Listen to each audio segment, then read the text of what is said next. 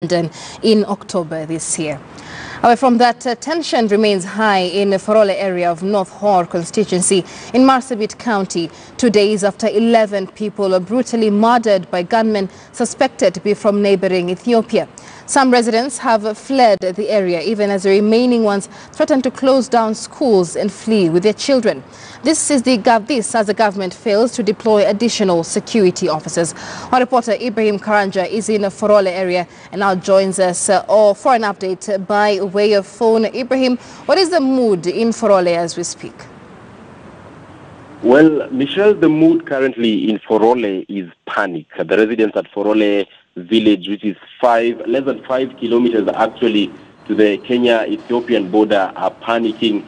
Uh, we are told that last night, most of them, especially the young men, spent outside after there emerged reports that uh, there were actually, uh, there was spotted over 300 militia are coming across the border. So it has been a really, really, a really tense moment here in Forole. While we were coming at this to this particular village, we were forced to spend one hour at a village called uh, at, at, a village that is about uh, 70 kilometers from here because the residents there told us not to, not to proceed with the journey because it was very risky. Right. And this is about five or so hours ago at around 4 a.m. this morning, Michelle. So the residents at Forole area are panicking as we speak. The burial of the 11 who are who were murdered on Monday is ongoing. Uh, six of them will be buried at a mass grave and the other five at different sites within this particular village, Michelle. Uh, do we perhaps know the cause or the root of this massacre? You mentioned 300 militia coming across the border. Have there been border clashes between the two communities? Well, Michelle, the tensions at this particular area are escalated on Monday. And according to what residents are telling us, is that the 11 who were killed were actually killed while attending a peace meeting that had been called for uh, by uh, leaders from the Ethiopian side. Mm-hmm. Uh, those, these are speculations or these are reports that we have not uh, been able to uh, prove whether they are true or untrue. Right. But they say that the 11 were killed while attending a peace meeting. I have spoken to one person who's lost a 15-year brother, a 15-year-old brother who says that the brother was actually a hard boy and uh, he chose to attend that particular meeting that was held at the border. The conflict or the subject of this particular meeting was a water point. Uh, they were conflicting over a water point that is uh, in the Kenyan side. And due to the drought in this particular area, the herders, uh, actually the herders of this particular area have been fighting for that water point.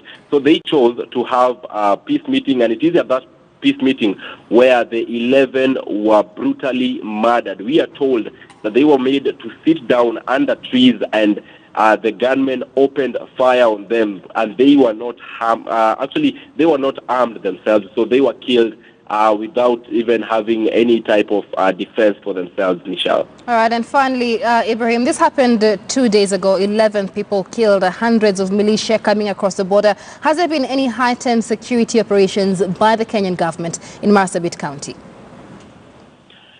Well, we have spotted a number of police officers in this particular area, but uh, according to the residents who have been here for a while, say that this number of officers is the same that they've been having for uh, the longest time uh, that they can remember.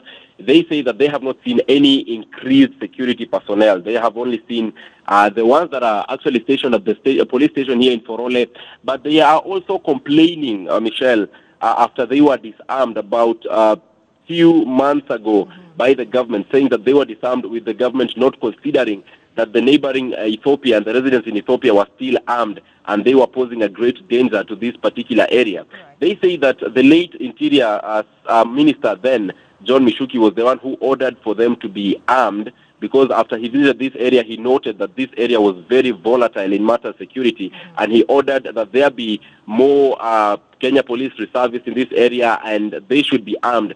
But later on, the government has disarmed them, leaving them in harm's way, according to the residents, Michelle. Yesterday, right. the county commissioner had spoken, and he said uh, that the people here are protected, but that uh, seems not to be what the residents here feel, because the ones I have spoken to say that they have lost lives, 11 lives today, uh, on Monday rather, and last night they spent at uh, the night uh, in the cold because they felt they were being threatened by over 300 people who had crossed the border. Like I said, the border is less than five kilometers from Forole village where we are, Michelle. So definitely a lot needs to be done to ensure the security of this particular area and to ensure that the residents uh, come back uh, to normalcy because they have also threatened that they're going to close down the schools and flee from this particular area if they will not see any heightened security uh, presence from the government, Michelle.